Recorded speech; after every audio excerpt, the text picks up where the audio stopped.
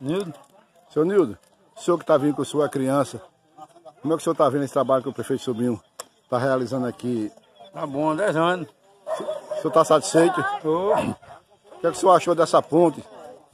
Tá em ordem, tá bom toda. Facilitou muito para pegar as crianças aí. Facilitou, arrumei só vinha chamando nome aqui. E era, Mas, só vi cobrindo os prefeitos de nome. mas Sobrinho, É, até agora não errou não ainda não. É um homem de palavra, Daqui né? pra frente não vai errar não. Vai mais não, né? Vai não. Agora tá tranquilo, né, Zé? Tá, tá em hora, agora tá bom todo.